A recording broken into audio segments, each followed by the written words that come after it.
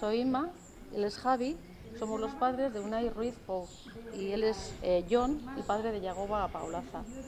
Nos conocimos el 24 de noviembre del año 2009 a Sí, raíz de la detención de nuestros hijos esa madrugada. ¿eh?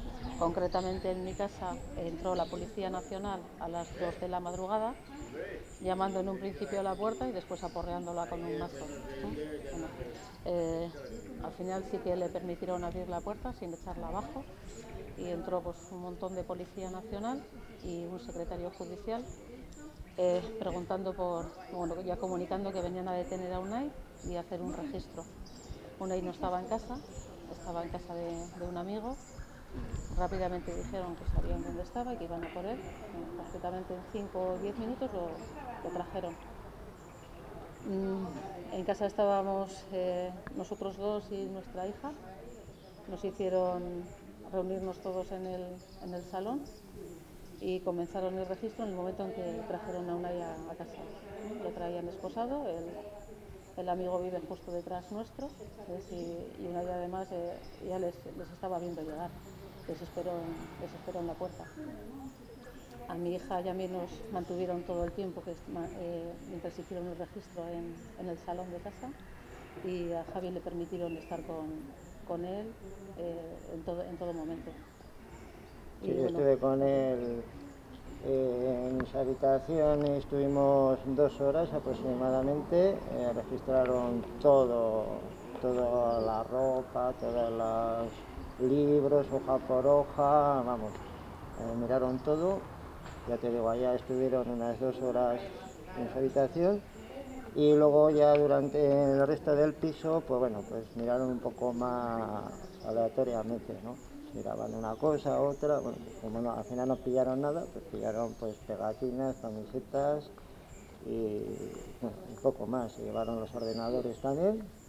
Y bueno, la detención duró pues unas cuatro horas, de- desde las dos hasta las seis, seis y pico y bueno, registraron también el coche de ellos, el mío también, bajaron al garaje, miraron los coches, se llevaron todos los discos que tenía, todo, y bueno, y luego ya pues a las seis, seis y media, pues ya se lo llevaron.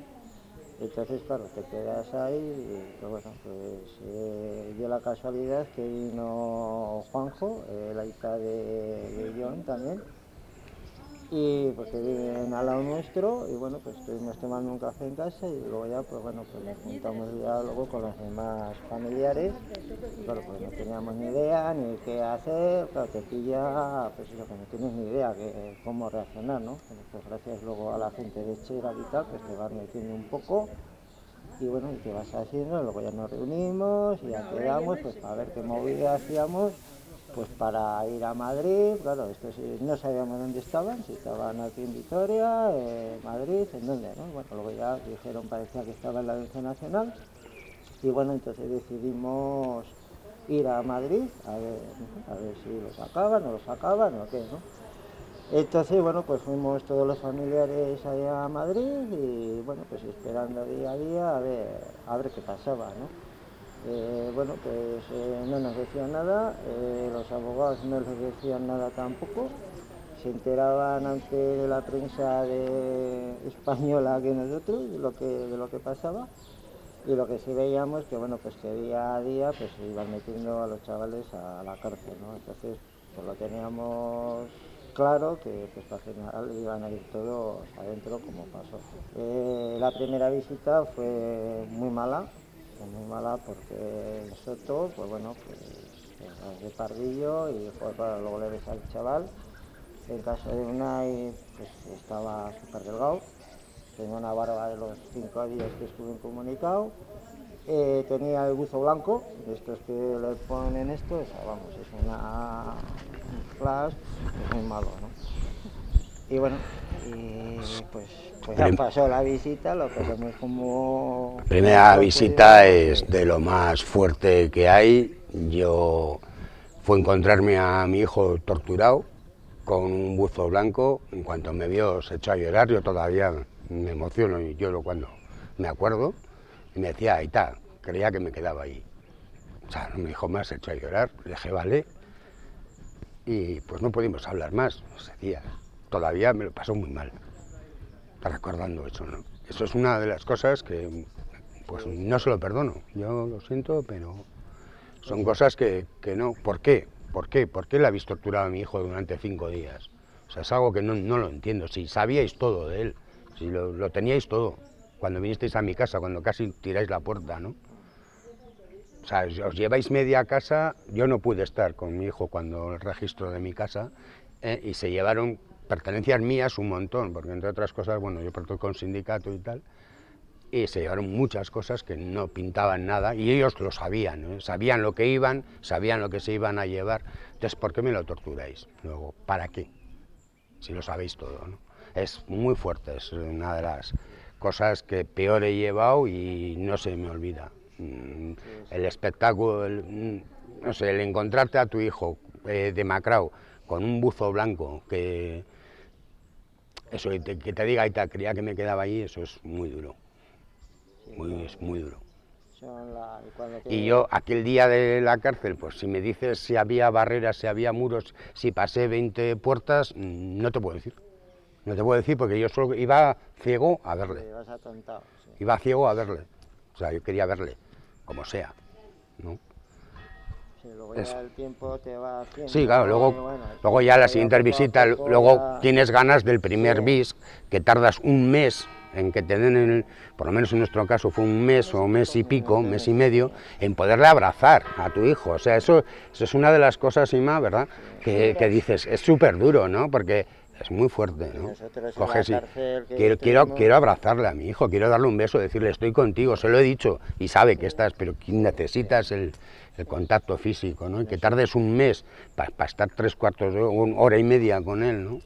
mes y pico, pues es muy duro. Es una de las cosas que se lleva pues muy mal y su ama todavía lo lleva muy mal, ¿no? Y ahora pues estamos esperando a que los juzguen otra vez. Les piden seis años por ¿por qué? Pues por haber sido combatientes en el barrio, por haberse preocupado de los temas de la juventud, pues por ser como son, por ser gente maja, gente porque, porque que se mueve. Ves, ves lo que, pues, lo que... Vale, pues ahora estamos pendientes del juicio el juicio pues es otra, está pensado también para tema psicológico y para fastidiarnos, ¿no? Porque bueno, han puesto en un principio tres días ahora para octubre, que solo lo hacen por la mañana, lo vayan a alargar un poco más, hacer mañana y tarde para que no, no sé, no acelerar un poquito. Luego tenemos seis días en noviembre y luego tres en diciembre. diciembre. Eso de momento y claro, con todo lo que lleva, ¿no? Pues todo el tema, pues estrés, tanto lógicamente primero para ellos, pues claro, tiene que estar allá. Es que ellos ahora mismo están en una fase que no están en ningún nada, sitio, no pueden, no pueden estabilizarse, no pueden hacer nada. Claro. Eh, dice, ¿qué, ¿qué voy a hacer con mi vida? Si entro ahora a seis años, claro. Eh, no puedo hacer nada, no me puedo asentar, no me puedo hacer nada. Llegan hasta no querer tener ni novias, sí, como no, quien dice, sí, o sea, tienen hasta problemas de ese tipo. ¿no? Es que que y tú como familiar, pues lo, lo vives, claro. lo vives, y eso que menos mal que nos solemos juntar, los que tenemos todos con las mismas movidas, y bueno, es un apoyo que, que, que tenemos muy grande, menos mal, porque si no, a ver, te pilla esto solo y, y esto es de suicidio. Casi. Desde que te lo cogen hasta que realmente termina, pues no es que no sabes el tiempo, que, el tiempo que, que tarda, pues claro, si lo meten seis años, por ejemplo, en la cárcel, ya llevamos cuatro. Mientras sea el ¿Sale? juicio, sí, sí, mientras sí. el juicio, y luego, si tienen que ir a la cárcel, Ah, esto es- mínimo de eh, 10 años no... Está claro que esto es un castigo para Sí, la sí, juventud. sí, O sea, sí, que- para la juventud que se quiere mover un poco, esto es un castigo y es un castigo ejemplar. ¿Veis lo que va a pasar si os movéis? O sea, es eso. Y con el tema Es- juicio, pues lo mismo. El tema juicio todo es, y, es bueno, eso. Y y ahí bueno, estamos, esperando que, bueno, a ver... estamos y Y estaremos si ahí, a pie de cañón y para lo que haga falta.